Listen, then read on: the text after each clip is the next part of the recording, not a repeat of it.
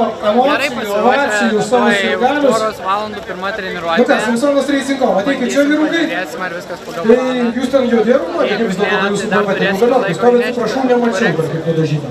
Jūs esate vardėjami kaip vieni iš lyderių, pačių į pirmą vietą pretendentų. Kaip jausmas e, turėti tokią atsakomybę? Jau, jausmas iš tikrųjų geriau, kai atsakomybės nėra, bet e, tiesiog ir pernai ta atsakomybė buvo, ir užpernai. Tai? Tiesiog per daug nesureikšminam to, tiesiog darome tą, ką galime. Tai daug kas priklauso ir nuo pačio automobilio, nuo komandos darbo, tai tiesiog labai daug niuansų, tai kad čia, kad- čia net, net patvarkė.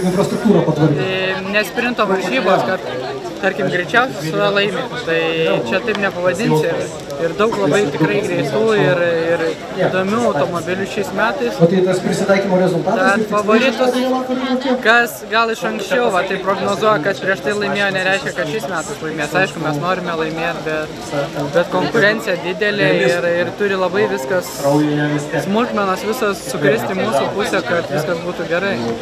O kaip pats pasiruošimas, kaip automobilis, treniruotės, viskas sėkmingai? Tai automobilį mes pa- pažiūrėjom, vis, viskas gerai, po to su Ignu mes šiaip dėl fizinės formos, tai kaip ir nebijojom savo, nes vakare tai čia palai prieš važiuojam. Antradienį vakare dar sveiko pravažiavom 300 km dviračiais, tai beveik vieną dešimtąją varžybų pravažiavom. Joje tikrai bus patyrusių tai vyrų. Čia yra ribotas, tai gali maksimaliai sėdėti automobilį valandą 10, iš tikrųjų prognozuoja 25 laipsnių. Į sceną pakvietė, kurie paprašysiu paploti garsiai gatvėse. Automobilį bus 50. Ačiū, atvažiavo, tai yra septintasis numeris. Dave Holland, Drew Holland, Mike Holland, tai yra dfdbhl.com. Komanda iš Didžiosios Britanijos, kurių padeda tos senulius Fordus, kurie čia važiuoja šiandien nežinau. Tai tau kaip ir priimtina tas, nėra kažkokių perkrovų labai organizmų. Svarbu po to išlipti iš automobilio. Šaltas rankšluostis, po to išgerti vandens elektrolitais ir po to per valandą pailsi, kad vėl galėtum.